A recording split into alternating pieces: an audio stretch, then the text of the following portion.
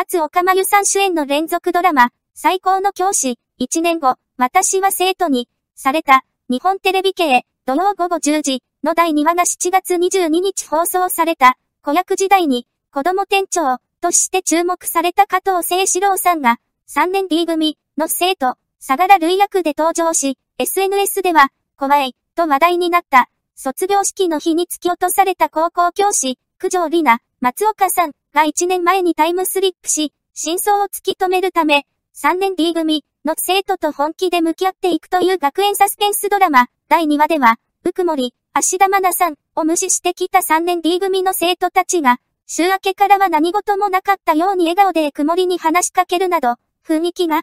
一変、そんな中、工学研究会の部室では、相良や、西野瑞希、茅島瑞希さんら D 組の生徒が集まっていた。ある夜、九条から動画データを奪うため、九条のカバンをひったくろうとしたものの、失敗に終わっていたウルー、三時、相馬さん、と先坂、浅野俊也さん、そんな二人に向かって、相良は、なんで、女教師を襲って、物一つ奪ってこれないかねえ、と話しかけた、ウルーが、リナちゃんも言ってたけど、あの PC にだけデータ入ってるわけじゃないってことだし、と言うと、相良は冷たい目をしながら、じゃあ、家ごと燃やしてこいよ、と言い放ち、ママは、冗談、と笑うのだった。SNS では、最高の教師の加藤。